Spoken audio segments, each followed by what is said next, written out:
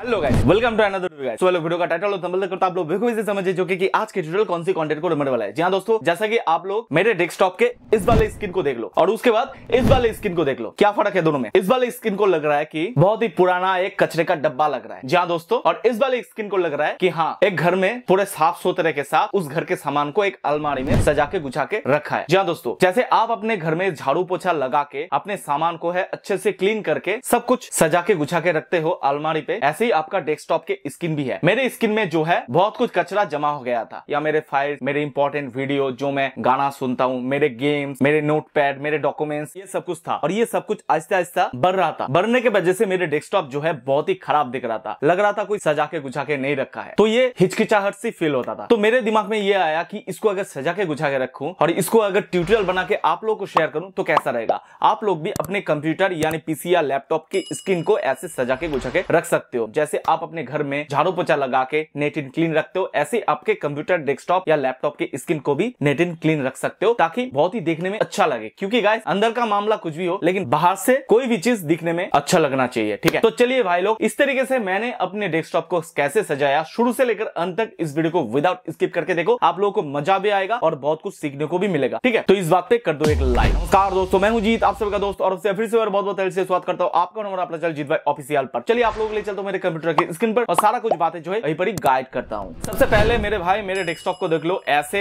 कैसे इधर उधर सब कुछ जो है, ये सब कुछ जो है फ़ाइल फोल्डर एटसेट्रा जी फ़ाइल सारा कुछ पीडीएफ नोटपैड वाटपैड सारा कुछ जो है इधर उधर है। तो सबसे पहले आप लोग गूगल में चले जाओ। गूगल में जाके आप लोग सर्च कर दो वॉलपेपर कैप ठीक है? Wallpaper cave C A V first वाले जो वेबसाइट दिख रहा है, इसको अलग टैब में ओपन कर लीजिए। ओपन करते ही कुछ इस तरीके का इंटरफेस दिखेगा साइट का। वेलकम टू वॉलपेपर कैप ठीक है? तो उसके बाद यहाँ पर देखो, सारे बहुत सारे कैटेगरीज मिल जाएगा। यहाँ पर फ़ोटो आप अपलोड भी कर सकते हो, यहाँ पर अकाउंट करके भी आप दूसरों को अपने टैलेंट जो है शेयर कर सकते हो फ़ोटो के ज़रिए, ठीक है? ताकि आपके फ़ोटो दूसरे लोग डाउनलोड करके नया कुछ कर सके, ठीक है? तो चलिए, काम के बाद पे आगे आते हैं। यहाँ पर देखो वेलकम टू वॉलपेपर कैप यहाँ पर नीचे जो सर्च वाला ऑप्शन है, यहाँ पर आप लोग लिख दो desktop shelf S H E L F wallpaper ठीक है? जस्ट ये सर्च कर देना है। यहाँ पर पाँचों कैटेगरीज आ जाएगा। यहाँ पर देखो desktop shelf four K desktop shelf desktop book shelf shelf picture desktop shelf desktop सारे के सारे एक ही है, ठीक है? आप अपने हिसाब से फ़ोटो को यहाँ पर डाउनलोड कर सकते हो और यहाँ पर बिल्कुल फ्री में एचडी फ़ोटो जो है डाउनलोड हो जाता है। जैसे कि यहाँ पर आओ, बहुत सारे फ़ोटो दिखेगा। यहाँ पर आओ, यहाँ पर भी फ़ोटो देगा। अब अपने डेस्कटॉप के फ़ाइल के अकॉर्डिंग आप अपने डेस्कटॉप के अकॉर्डिंग आप यहाँ से अपना जो है इमेज डाउनलोड कर सकते हो। जैसे कि मेरा फ़ाइल बहुत है, इसलिए मैं ये वाले बैकग्राउंड को चूज़ किया।